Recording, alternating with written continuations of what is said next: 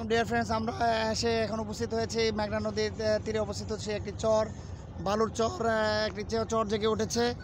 অসাধারণ একটি নান্দনিক দৃশ্য।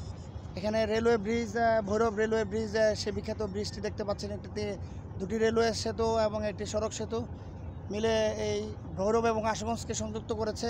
খুবই ঐতিহাসিক একটি স্থান। এটা ব্রাহ্মণবাড়িয়ার আশুগঞ্জ উপজেলায় অবস্থিত। আবার ওদিকে কিশোরগঞ্জ জেলার ভৈরবে অবস্থিত। চমৎকার একটি জায়গা নান্দনিক দৃশ্য এবং পর্যটকদের এখানে ভিড় দেখা যায়। আমি আমার সহধর্মী ক্লোজ আপ অন্তরকা খুশবু সূর্য তুর্য হ্যাঁ হ্যাঁ যে আমার ছোটো ছেলে তুর্যকে নিয়ে এসছি ঘুরতে। খুব সুন্দর একটি জায়গা। দান বলো তো কেমন লাগতেছে? দেখে দি বলো। হ্যাঁ আমরা ভালো লাগছে দুই হাজার পনেরো সালে এখানে এসেছিলাম একবার। হ্যাঁ তখন সূর্য ছিল আমি আমি তখন ব্রাহ্মণবাড় সরকারি কলেজে কর্মরত ছিলাম। তখন সূর্য ছিল না? হ্যাঁ হ্যাঁ সূর্য ছিল। হ্যাঁ, এইদিকে এদিকে এবার শেষ হতো মানে সুন্দর দৃশ্য আসতেছে। ঠিক আছে আবার এদিকে ঘুরে তো এদিকে আসে এই যে দে- দে- এখন এদিকে এদিকে দেখছ?